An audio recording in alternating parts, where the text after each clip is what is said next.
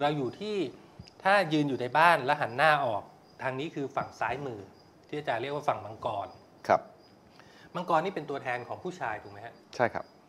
ด้านขวาคือเสืเสืออเป็นเป็นผู้หตัญิวงแทนของผู้หญิงอ่าฮะครับฝั่งมังกรของตรงนี้เนี่ยอาจารย์พูดถึงเอ่อเคล็ดอัญมณีก็คือมังกรครับชิ้นนี้ไปแล้วนะฮะว่าช่วยเสริมเรื่องของความ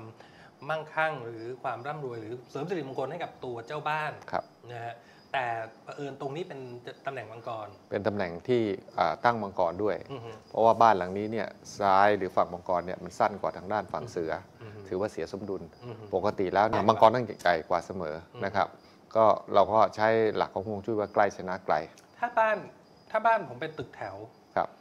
มันมันประตูมันก็อยู่ตรงกลางไม่ฮะถ้าในในลักษณะนั้นเนี่ยเราจะต้องดูว่าตึกแถวนั้นมีกี่ห้อง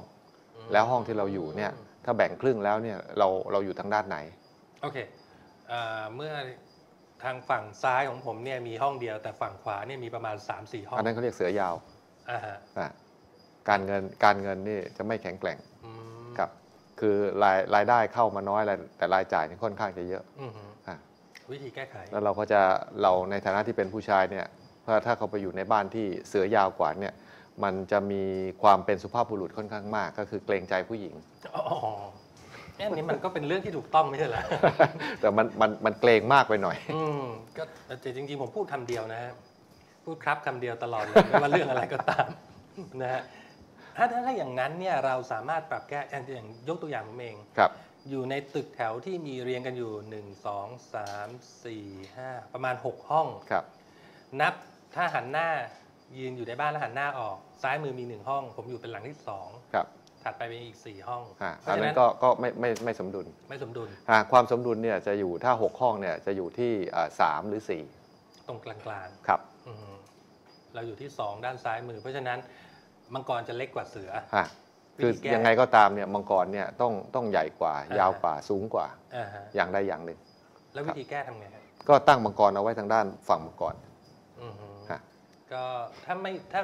ไม่มีอัญมณีหรือเป็นรูปมังกรได้ไหม ก็ใช้เอ่อรูปก็ได้ แต่ว่ามันจะไม่ไม่แข็งแกร่งเท่าอือฮึอ่าจะไม่แข็งแกร่งเท่าก็คือมีผลอือฮึแต่ว่ามันไม่ไม่เด็ดขาดอือฮึอ่าเวลาที่ในวิชา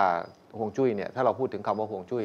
อันนั้นทำได้ แต่ถ้าพูดถึงฮวงจุ้ยเต่าหมวกดำแล้วเนี่ยทุกอย่างที่ทำต้องเด็ดขาดต้องให้เห็นผลต้องชนะอือฮึอ่าต้องเป็นเป็นสิ่งที่เราทำแล้วเราแน่ใจว่าเราชนะเหนือบุคคลอื่นอือฮึ เพราะว่าโดยรากฐานเนี่ยความเป็นมาของฮวงจุ้ยเต๋าหมวกดำเนี่ยจนกระทั่งกลายเป็นประเพณี หรือเป็นวัฒนธรรมของอ่าเต๋าหมวกดำก็คือให้ได้ซึ่งชัยชนะ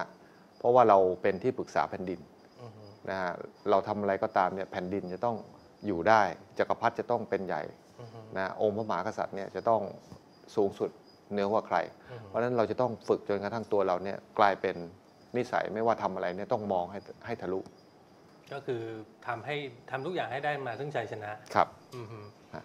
เพราะฉะนั้นก็ต้องหาสัญลักษณ์ของมังกรครับ หรือรูปปั้นหรืออะไรที่เป็นมังกรมาตั้งไว้ทางด้าครันบถ้าฝั่งซ้ายของบ้านเราอะเล็กกว่าฝั่งขวาอะและถ้าฝั่งขวาเล็กกว่าฝั่งซ้ายเอ่อเราก็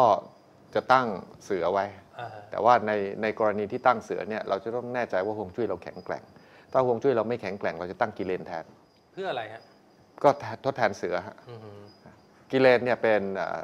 เอ่อสัตว์เทพเจ้า แต่ว่าเป็นสัญลักษณ์ของอาผู้หญิงอือฮึอ่าส่วนมังกรเนี่ยเป็นสัญลักษณ์ของผู้ชาย เป็นตัวแทนสัญลักษณ์ของผู้ชาย อืมครับ ลองไปดูนะฮะว่าบ้านของคุณมีลักษณะของ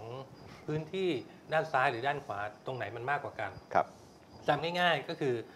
หันหน้าออกด้านซ้ายจะเป็นมังกรก็คือผู้ชาย ด้านขวาจะเป็นเสือก็คือผู้หญิงนะฮะตรงไหนมีมากกว่า ตรงนั้นก็จะมีพลังมากกว่า ครับ ถูกไหมฮะ ครับ